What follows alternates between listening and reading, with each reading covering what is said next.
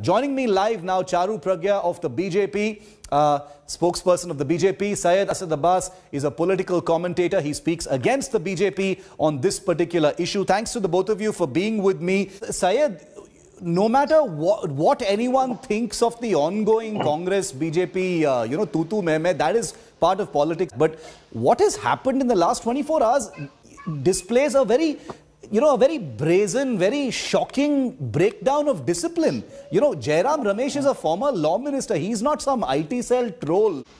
Shiv, uh, firstly, my dear friend, wishing you and all the viewers and of to India you, Syed. Good very to see you. happy a very happy Republic Day.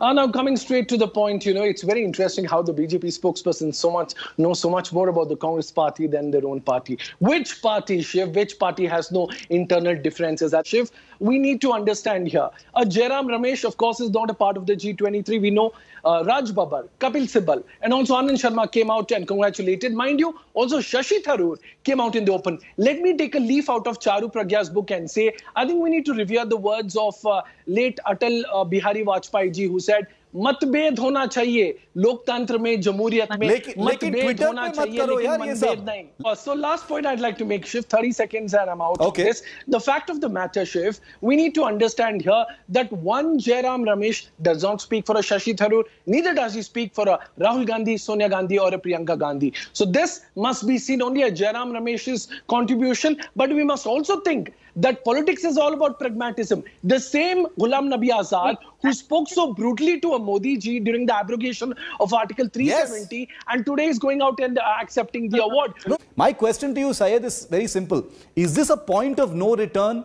Every time there's a little bit of a problem, the Gandhis will just make the situation so bad that someone just has to leave. Next, we might just see Ghulam Nabi Azad also exiting the party.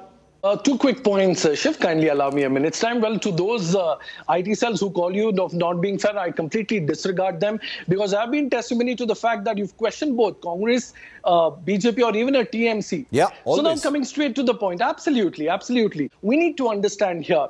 Now look at the BJP spokesperson coming out and speaking so highly of Padma Awards. It's great. We all must. But back in the days when Congress was in power, Manmohan Singh uh, part one, Manmohan Singh part two for 10 years, it was the same BJP leaders who said that the Padma Awards have been compromised. It is very interesting how quickly they changed their tone. Basically giving it to their own. Not, Well, not well- really being a people's Padma. I think that was the Okay. point. Not to, not to defend. I just think okay, that was the okay, no. point being made. So You the know- same way they could also be said when uh, last year we had this debate about Kangana Ranaut being given away and many others deserving did not. But yes, Shiv, I agree with you on one front that yes, opposition is the backbone of democracy and the democratic opposition must be strong. Because Modi ji in his own words says that this opposition needs to be there for the better functioning of the democracy. Now coming to the point of Ghulam Nabi Azad, I would hail a Buddhadev Bhattacharjee who stuck by his guns, who stuck by his uh, ideology and rejected these awards. It looked like he Why? changed his mind. because mind, a though. politician might change the party, a politician, but a true leader will never let Okay. go. So I- now coming from this, to me, I would never accept it if I was in his place. But then again, the debate goes on of Okay. Ghulam and I- yeah, I'm going to have the last word because it's my show. And I, I'll just politics say, is the play. I'll just say, I think it's actually nicer if political parties and governments give Padma awards to their rivals rather than parties giving it to their own people. I'm going to leave it to the last word. No reactions on that. I don't mean to be provocative. Thank you very one, much. Charu and, uh,